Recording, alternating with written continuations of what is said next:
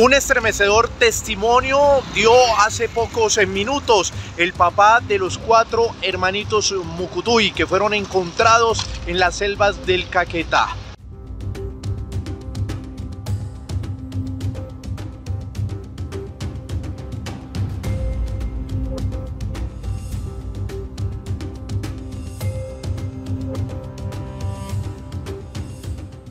Manuel Ranoque dijo que la niña mayor, Leslie, le contó que luego de accidentarse la avioneta el pasado primero de mayo, pues eh, la mamá de los niños que viajaba en esa aeronave duró cuatro días con vida y ya sus últimas palabras que les dijo a los menores era que se tenían que ir de la zona, pero que confiaban en que el papá los iba a encontrar.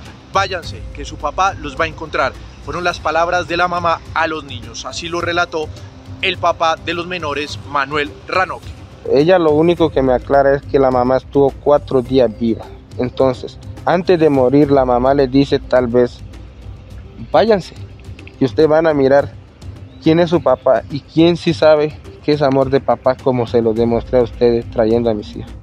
Hay que mencionar que el señor Ranoque también cuestionó duramente al presidente Gustavo Petro sobre la manera como ha manejado el caso de sus hijos luego de que fueran encontrados con vida por parte de las fuerzas militares. Totalmente estoy de desacuerdo con eso.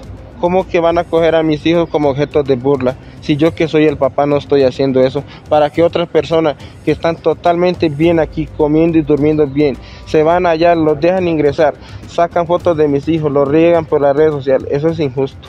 Y espero que Dios los perdone si lo están haciendo de buena, si, si lo están haciendo de mala conciencia, Dios castiga con lo mismo que uno pide. El señor Ranoque señaló que confía en que sus hijos sigan recuperándose acá en el hospital militar y que espera poder tener una conversación más larga con ellos, que le entreguen más detalles de cómo hicieron para sobrevivir durante 40 días a esa peligrosa selva del Caquetá. No se les olvide seguirnos en nuestras redes sociales y para más información en semana.com.